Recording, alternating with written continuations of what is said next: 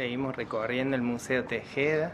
Estamos en otra de las galerías coloniales de este lugar y en este sitio hacia el oeste del museo nos encontramos con esta sala tan representativa denominada la celda Solo Dios Basta, ya que eh, celda era el nombre que recibían las habitaciones de las monjas, sus dormitorios, eh, ese era el nombre que le daban.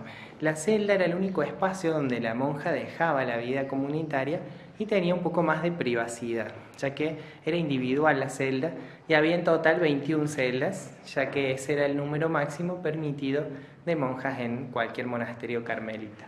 Aquí se podía dormir, obviamente, eh, esta cama es una recreación, pero era una cama muy simple, una tabla de madera, un poco de paja sobre ella y bueno, encima de eso se acostaban las monjas. Era un poco más ancha de lo que vemos ahora. También era un lugar bastante frío en el invierno, por lo cual usarían este objeto o uno similar, que es un brasero o calentador. Y para guardar algo personal tendrían también un baúl, eh, en este caso está realizado en cuero, es una petaca, pero pertenece al museo. En el caso de las monjas tendrían algo más sencillo, más austero, ya que esa era una de las características de su vida cotidiana, la austeridad. Sería de madera posiblemente el que tendrían ellas. Y aquí podemos observar algunos objetos de la colección del museo, pero que también nos, hablan de la vida cotidiana de las monjas. Su tarea principal es la oración. Por lo tanto, no faltaría quizás eh, ni un crucifijo, ni un rosario, ni un libro de oraciones. Serían objetos imprescindibles. Ya había momentos preestablecidos del día para la oración, eran siete, y entre esos momentos de rezo también trabajaban. Ya dijimos que elaboraban dulces, mermeladas, pero también cosían, bordaban, tejían, limpiaban, cocinaban. Eh, eran realmente varias tareas las que realizaban.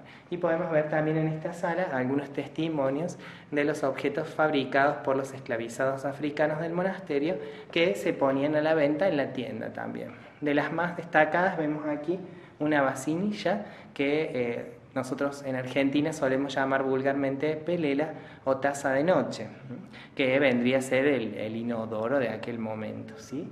Eh, allí se acumulaban los desechos que luego eran arrojados al pozo de las vergüenzas, así dicen algunos autores que se llamaría eh, a este pozo alejado de la casa, cerquita de las huertas, que sería, digamos, eh, el lugar destino de estos desechos, ya que, bueno, dentro de la casa o de la habitación era impensado tener un, baño, eh, porque bueno, no había agua corriente ni sistemas cloacales. De hecho, aquí se conserva esta habitación que sería eh, un cuarto de higiene personal, por eso está ambientada con una jofaina, una, un aguamanil, vemos otra vacinilla más moderna también, pero bueno, no sería un baño propiamente dicho, sino un cuarto de higiene.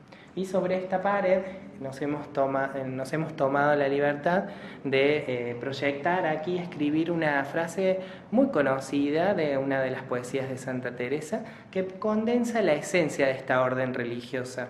Dice así, nada te turbe, nada te espante, todo se pasa, Dios no se muda, la paciencia todo lo alcanza, quien a Dios tiene nada le falta, solo Dios basta.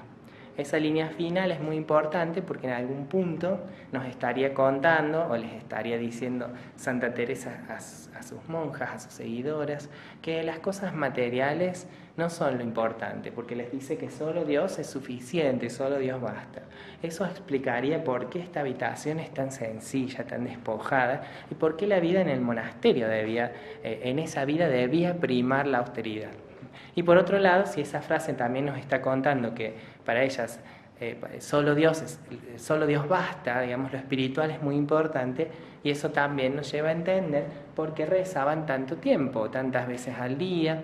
Eso entonces eh, son los ejes de esta, de esta orden religiosa, ¿no? la austeridad y la oración. Así que bueno, esta sala condensa todo esto que les estaba contando. Están más que invitados a venir a recorrerla.